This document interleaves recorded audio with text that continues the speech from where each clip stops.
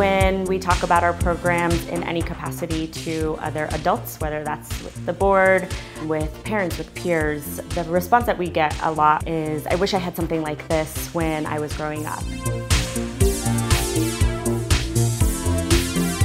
I love MCA because it's taught me to learn from other people's ideas and create art collaboratively. I love the MCA because I'm allowed to be myself here.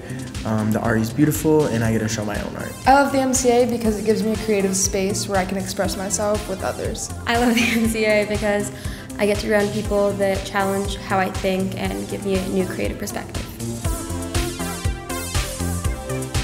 With the support of the team here, we've built a really great machine and we're able to connect to teens from all different backgrounds and give them that experience. So they did have this in high school and having that leg up, who knows what is in store for them in the future.